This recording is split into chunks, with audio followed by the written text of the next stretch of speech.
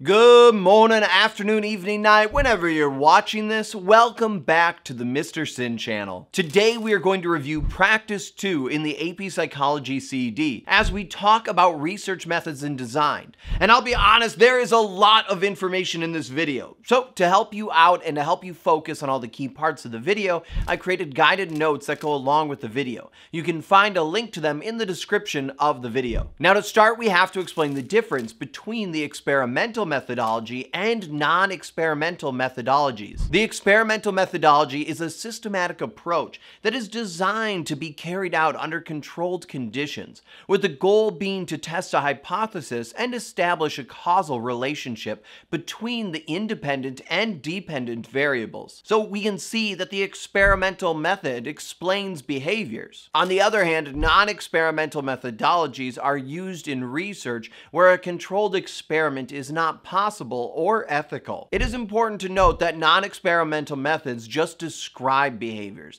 They can't explain behavior and cannot be used to establish a causal relationship between independent and dependent variables. Non-experimental methods include case studies, correlational studies, meta-analysis, and naturalistic observation. A case study examines an individual, group of people, event, or situation to provide detailed information and insight into the topic of interest. One problem that can come up with a case study is the risk of being impacted by the Hawthorne effect, which is when the subject of a study alters their behavior due to them being aware that they are being observed. Next, there's correlational studies, which allow researchers to gain insight into the relationship between two variables and can help determine the strength of the relationship between the variables. Now, I do want to point out correlational studies do not show cause and effect. And I'll say it one more time for those students in the back of the room.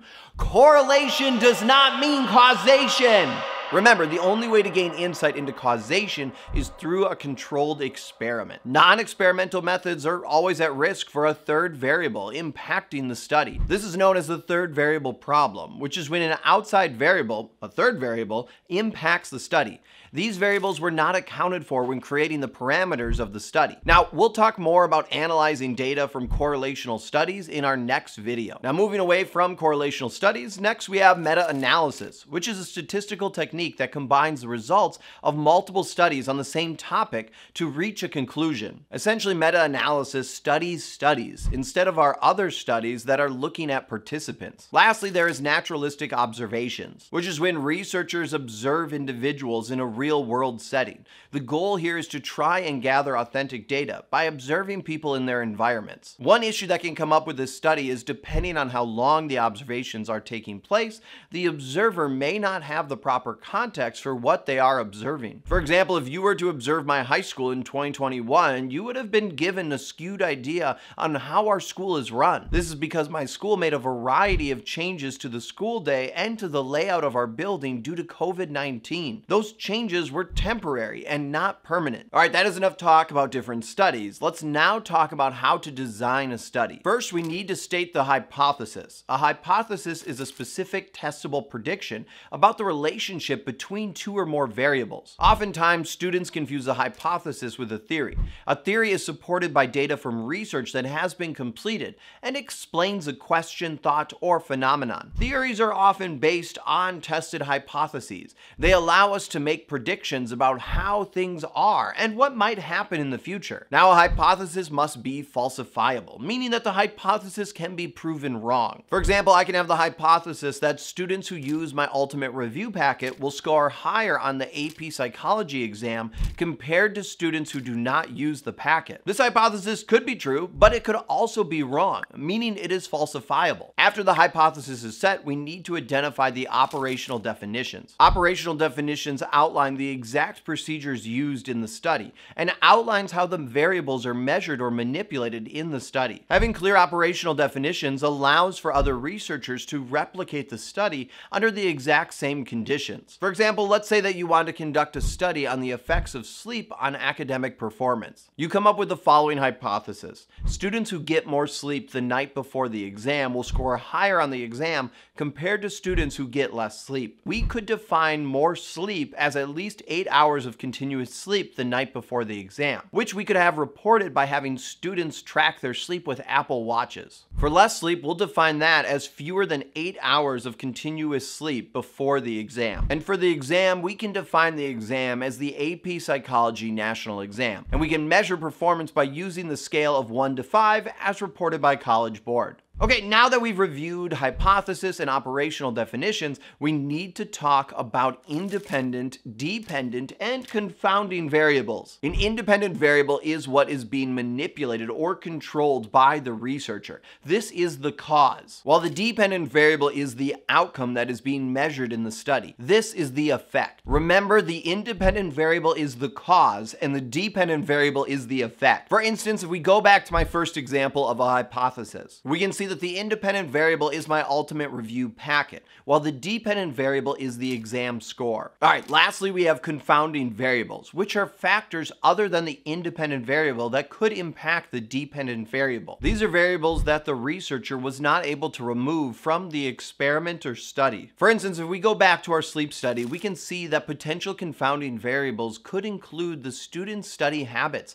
the amount of stress, or overall health, all of which could impact the student's student's performance on the exam, regardless of the amount of sleep that they get. When looking at a study, we can see that the more control there is in the study, the less confounding variables there will be. However, in the real world, this is not always possible. And the more you try to control an experiment, the more you risk creating an inauthentic environment, which could create new confounding variables as participants might change their behaviors. Now, if you need more help with identifying the IV, the DV, creating operational definitions, and breaking down a hypothesis, you can check out the practice resources and quizzes that focus on these topics and skills in my ultimate review packet. Once you finish this video, just click the link in the description of the video, sign up for the free preview, and go to Unit 0 to start practicing. All right, now that we have the hypothesis set, the variables defined, and the parameters for the experiment set, we need to move on to our participants, which means we need to understand the difference between the population and sample. The the population refers to the entire group that the research is studying,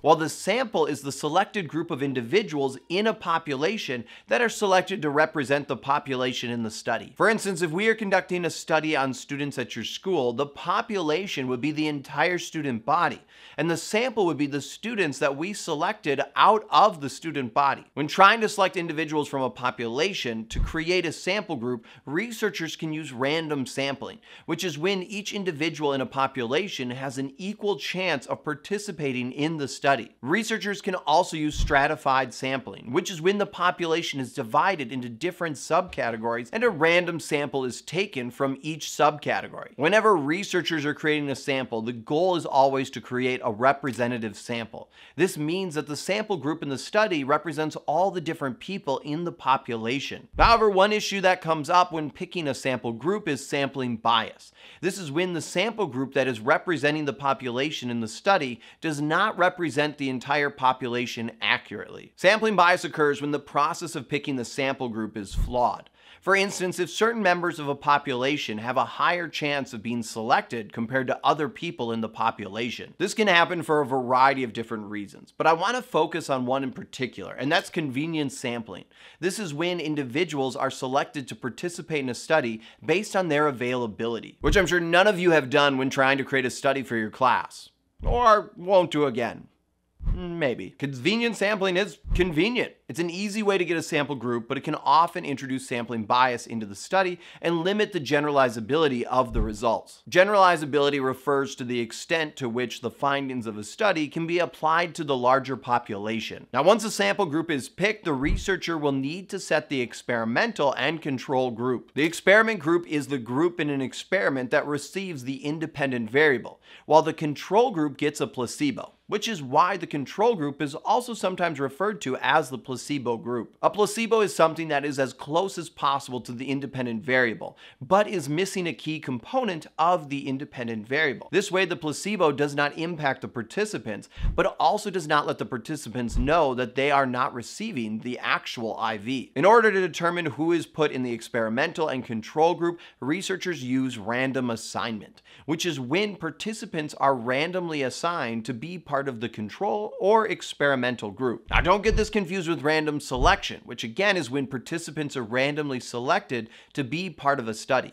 Now, I just want to reiterate that this is crucial for experiments and studies to have appropriate representation of participants. A study that has appropriate representation has a sample that accurately reflects the demographics and characteristics of the population being studied. This can increase the chance that the results of the study are more likely to be valid, increase the chance that the results will be generalizable, and reduce the chance of bias impacting the study. So that's why researchers will use random assignment to determine who is part of the experimental group and the control group. Now, there are times when it is not ethical or possible to have participants be randomly assigned in an experiment or study. For instance, if I wanted to conduct a study on depression, I could not randomly assign participants to the control group or experimental group because I cannot just assign participants to become depressed or not. So instead of doing a traditional experiment, I would have to run a quasi experiment. This is an experiment that does not include the random assignment of participants. One thing to note here is this type of experiment cannot determine cause and effect. This is because differences between groups are not controlled by random assignment. Remember, the experimental method must use random assignment and will always involve independent and dependent variables. But the non-experimental methods will not always use random assignment. Okay, so I realize that there's a lot of terms and concepts in this video already, and we have more to go. So to help you remember everything, I created a practice quiz on all the terms and concepts in this video to help make sure that it's all making sense to you. You can check it out for free today in my ultimate review packet. Now, the next thing we have to talk about is procedures. We can see that researchers can use either a single blind or double blind procedure. A single blind procedure is when the participants in the study do not know whether they are in the experimental or control group which helps prevent the social desirability bias and placebo effect. The social desirability bias is when participants skew their answers to create a more favorable impression of themselves. This generally happens when an individual thinks a study is supposed to reach a certain conclusion. And the placebo effect is when an individual's physical or mental state improves after taking a placebo. This happens because the individual believes they are taking the real drug or substance. So the single blind procedure helps keep participants in the dark, since they're not sure if they're getting the placebo or the actual independent variable, which can help reduce the chance of participant bias impacting the study. The other procedure researchers can use is the double-blind procedure, which is when both the participants and researchers do not know who is in the experimental group or controlled group. This helps counter both the experimenter bias and social desirability bias. The experimenter bias occurs when the researcher's expectations, preferences, or beliefs influence the outcome of the study. Now, one thing to note here is the researcher does this unknowingly. They do not realize they are influencing the outcome of the study. Okay, so we've talked about the hypothesis, selecting participants, the control group, and procedures. Now we're gonna move on to talk about measurements. The first is qualitative measures, which collect non-numerical data that provide detailed descriptive insights into participants' thoughts, feelings, and behaviors. For instance, structured interviews which are where researchers ask open-ended questions that allow the participant to provide an in-depth answer about their perspective and experiences. Qualitative measures often produce information that is descriptive and subjective. The data can provide insight into participants' experiences, but is up for debate and is hard to replicate. Now, researchers can also use quantitative measures, which collect numerical data that can be statistically analyzed to identify different relationships, patterns, patterns and differences. For instance, researchers can use the Likert scale to gain insight into a particular topic. The Likert scale has participants rate their agreement with statements on a scale to provide the researcher with quantifiable data on the participants' attitudes or opinions. For example, here we have a variety of questions that are focused on specific topics related to online learning. Each statement has a range of answers, from strongly disagree to strongly agree. This allows researchers to measure the attitude of the participant. Quantitative measures often produce information that is more objective and focuses on measuring variables in a numerical form, ultimately allowing statistical analysis to occur and allows the study to be replicated. All right, changing gears now, we have to also talk about protecting our participants. Whenever a researcher is conducting a study, it's crucial that participants are protected. Participants have to understand the necessary information to make an informed decision. They must also understand the risks of the study and, of course, be free to choose whether or not they want to participate. All of this is known as informed consent. Researchers must give adequate information to their participants so they understand the risks of the study and can make a rational decision. This is different from informed assent, which is when the participant is not legally able to provide full consent on their own, typically because they are a minor. In these cases, the participant must agree to the study along with the parent or guardian of the participant. It is important that researchers set their studies up in an ethical manner. Ethical studies make sure they create a positive environment for the subjects, where the participants can trust the researcher. This way, the participants can be assured that they will not be harmed and that the study will have a net benefit for society. Researchers also need to make sure that the study has integrity and is transparent